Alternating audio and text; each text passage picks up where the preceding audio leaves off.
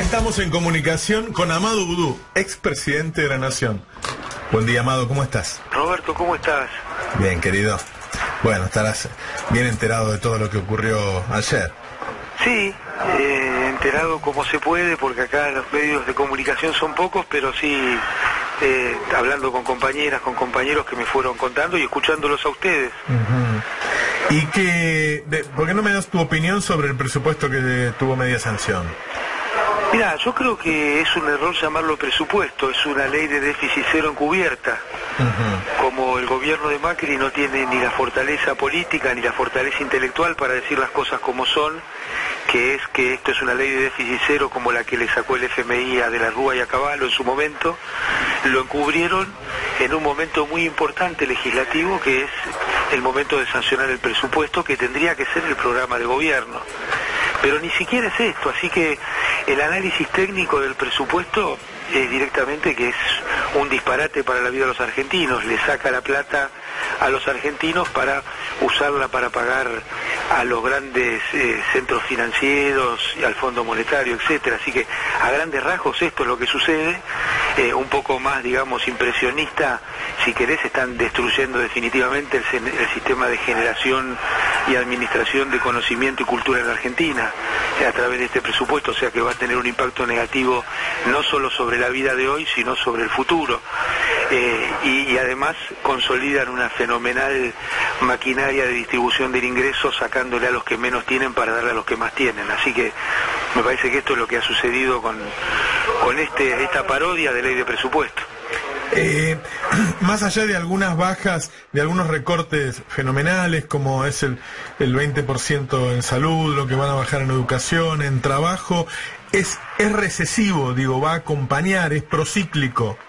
Sí, va a profundizar la recesión en la República Argentina, porque es una ley de déficit cero. Entonces lo que va a provocar es algo parecido a lo que pasó en la época de la Alianza, cuando Caballo y de la Rúa sacaron una ley de este tenor. ¿Te acordás que sacaba el 13%? Sí, claro. claro. Bueno, esto es lo mismo, pero mucho más brutal, como vos dijiste recién, 20% a muchas partidas. En términos nominales, en un país que hay más de 45% de inflación, Roberto, yo me acuerdo cuando a mí me tocó ser ministro de Economía, o, o Hernán Lorenzino, o Axel Kichilov, eh, nos criticaban los presupuestos. Al lado de, de esto, escúchame, no hay un supuesto que esté bien, los cambian cada dos días. ¿Con qué programa monetario es consistente este presupuesto del sector público? No, es, todo un disparate porque el único objetivo es que aquellos que prestaron plata a la Argentina se la lleven rápido y con intereses muy altos. Y el impacto sobre la vida de los argentinos va a ser nefasto. Eh, Amado, ¿cómo estás? Ari Lijalá te saluda. ¿Qué haces, Ari? ¿Cómo andás? Bien, muy bien. A- Ayer nos acordábamos, este, porque viste que las críticas eran, bueno, no se puede dejar a un gobierno sin la ley de leyes, que es el presupuesto, etcétera. Y nos acordábamos de- del caso del presupuesto 2011, que en el 2010 el actual oficialismo se negó a, a- a votar y vos en ese momento eras eh, ministro de Economía, ¿no? Pero claro, eh, fueron- fue una situación en la cual, eh, ¿te acordás? Está el famoso Grupo A, Ujú. Eh, conformado por, por varias fuerzas, entre ellas el macrismo, que criticó nuestro presupuesto y no nos dio presupuesto, pero eso marca también otra de las mentiras de este gobierno, ¿no? que hay que apretar todo el tiempo eh, material y psicológicamente a, la política y a la población para que convalide algo que es un disparate. Eh, yo creo que el un gobierno cuando no tiene la- los votos para tener un presupuesto, se tiene que hacer cargo y llevar adelante las políticas económicas con responsabilidad eh, política, como hizo el gobierno de Cristina cuando no tuvimos presupuesto. Nosotros eh, están todas las herramientas jurídicas para gobernar cuando la oposición no está de acuerdo con el, con el presupuesto. Por eso, quienes han votado este presupuesto es porque están en contra del mercado interno, del trabajo de los argentinos, del sistema jubilatorio, no es porque están a favor de la gobernabilidad, es porque están en contra de, la- de las cuestiones populares y de las cuestiones que hacen a la Argentina. El otro es una excusa muy, muy, muy pueril para ponerse del lado de la, de la antipatria. Así que creo que esta es otra cuestión que quizá no parezca económica, quizá parezca más sociológica, pero es muy importante tenerla en cuenta porque se va corriendo el arco permanentemente de lo que es la democracia en la Argentina, ¿no? Como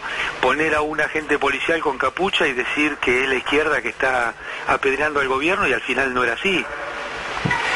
Amado eh, Rinconete te habla, ¿cómo estás? ¿Qué tal?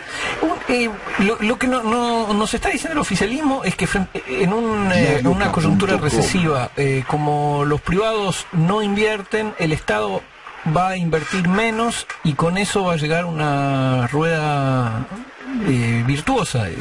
¿Es, así?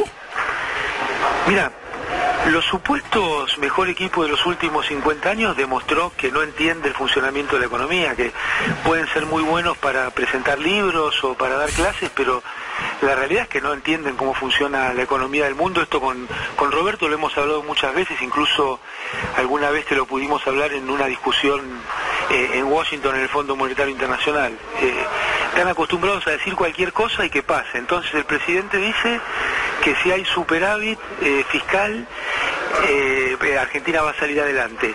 La verdad histórica es que los países salieron de las recesiones con el Estado presente, poniendo mucho dinero, sobre todo en los ingresos de la población, en la obra pública, en los sistemas eh, previsionales, con déficit fiscal. Entonces está diciendo una mentira que la dice o por burro o por perezoso o por ignorante y, nos va a llevar a, profundizar esta recesión. Lamentablemente eh, nosotros de aquí hacia adelante vamos a ver que se va a profundizar la recesión, que va a seguir habiendo un alto contexto inflacionario en el cual los ingresos de la población van a decaer cada vez más y las buenas noticias, entre comillas, eh, son como esta semana con bombos y platillos decir que eh, mejoró, que hay superávit comercial de, comercio exterior. Y hay superávit comercial porque hay menos importaciones, porque hay una mega recesión. Entonces es una pésima noticia, no es una buena noticia. Eh, y así van disfrazando todo. Decía Mariano Kester, aunque el gobierno va a poner el objetivo de mostrar que tiene superávit fiscal cuando este no es el problema y tiene razón, el problema de la Argentina es que no está desarrollando el mercado interno, que la población tiene cada vez peores ingresos y que por ende no hay inversión en la economía real, sino que hay solamente timba financiera. Esto se va a profundizar con este presupuesto. Em, vos has este, aconsejado, asesorado, estado cerca de Cristina durante varios años. Cuando se toman medidas económicas, se toma el impacto, en cuenta el impacto social. ¿No te parece que empezamos, entramos en un terreno en el que el impacto social puede ser peligroso? Yo creo que el gobierno juega juega con la sociedad argentina por una por un desfiladero eh, muy peligroso, por un te diría que casi por un, por un risco mm. eh, muy peligroso porque hoy a la población argentina se le hace difícil pagar la comida. En el país que según el presidente iba a ser el supermercado del mundo, eh, le cuesta a sectores medios ya pagar la comida, ni que hablar a, los sectores bajos y acceder a los servicios públicos. Es decir, que eh, el esfuerzo vital de, las familias argentinas está orientado a cuestiones que la humanidad dejó atrás hace cientos de años, como es eh, el alimento y el cobijo. Eh, lejos de la modernidad, porque ese es otro punto, ¿no? Eh, este gobierno se presenta como moderno y lleva a la población argentina a situaciones que la humanidad superó hace cientos de años, que es procurarse las necesidades materiales mínimas. Eh, por eso yo creo que nuestra fuerza, en sentido amplio, porque esto no es para ser un club de amigos, sino para terminar con una situación muy difícil para 42 millones de personas, eh, debe, debe también hacerse cargo de que es la modernidad. Nosotros no somos el pasado, los brutos. Cualquier funcionario del kirchnerismo es mucho mejor que los funcionarios que tiene Macri que se presentan como genios. Para poner un nombre, el caso de Stusenegger chocó la carecita dos veces, la chocó con De la Rúa y la, la chocó mal con el gobierno de Macri y lo presentaban como un genio. Entonces yo quiero que volvamos a tener esos funcionarios y funcionarias militantes que, que tenían, como vos decís Roberto, el tema del impacto social como principal eje de las políticas públicas. Amado, te mandamos un abrazo todos acá en la mesa, que sigas muy bien y gracias por tu aporte. Un abrazo. Mucha fuerza y, y gracias por toda la información que brindan, que no está en todos lados. Chao.